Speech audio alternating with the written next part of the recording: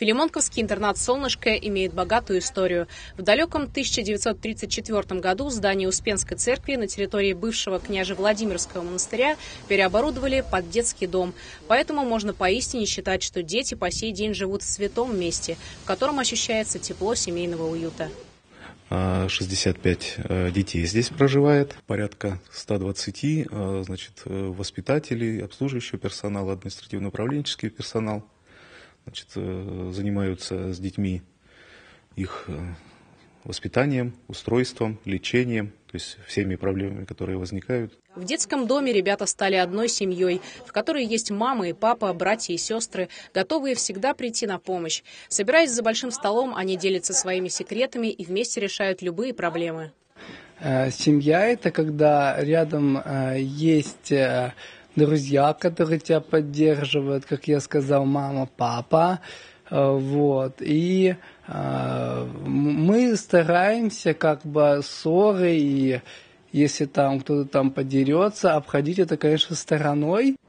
В этой дружной семье очень любят гостей и всегда радушно встречают их собственноручно приготовленными пирогами и чаем. Помочь разлить там чай, поухаживать, там это очень как-то полезно. И очень в жизни это пригодится, когда ты выпустишься отсюда. Тебе это очень важно будет. Там, например, кто-то в гости к тебе пошел. Ты должен это быстро организовать и все сделать.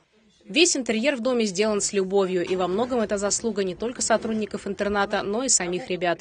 Ведь каждый воспитанник получает здесь всестороннее развитие. Спорт, танцы, рисование, гончарное дело, любовь к этим видам творчества – заслуга педагогов.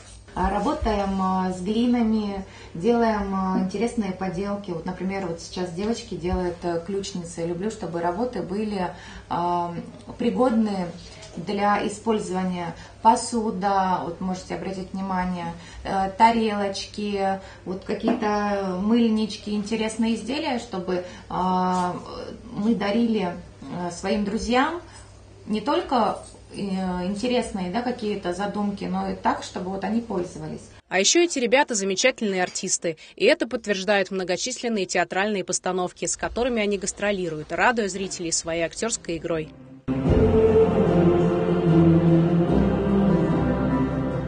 Но самое, пожалуй, удивительное увлечение этой большой семьи – путешествия. Воспитанники детского дома очень любят открывать для себя новые интересные места. Они уже успели побывать во Франции, Италии, Германии, Китае, Африке и во многих других уголках нашей планеты. Благодаря сувенирам, привезенным из разных стран и творческим способностям ребят, кажется, что находишься в музее, где каждая стена и даже стол отображают все события, происходившие в жизни воспитанников детского дома. А летом 2017 года группа воспитанников интерната совершила восхождение на высочайшую гору России и Европы Эльбрус. Дети с удовольствием поделились своими впечатлениями о путешествии.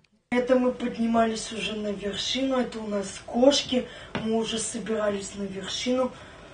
Когда я шла, мне было очень тяжело. Конечно, главные люди в жизни ребят – это сотрудники детского дома, которые каждый день стремятся сделать их жизнь лучше и счастливее. Анна Фомина призналась, что за 14 лет, проведенных в этом интернате, она так привыкла к детям, что они для нее стали родными. Дети растут, а, взрослеют, становятся самостоятельными. Многие уже живут сами, а, многие ушли под опеку в семью, и мы со всеми своими птенцами поддерживаем отношения. Надеемся, что те, кто сейчас живут здесь, они скоро тоже вылетят из этого гнезда, как из семьи, и будут жить сами, и мы будем с ними по-прежнему дружить. А на прощание детский дом «Солнышко» подарил телеканалу «Видное ТВ» изделие ручной работы, красивую бабочку, которая теперь останется на долгую память об этих талантливых ребятах. Анастасия Воронина, Сергей Ларин, Ольга Садовская. Видное ТВ.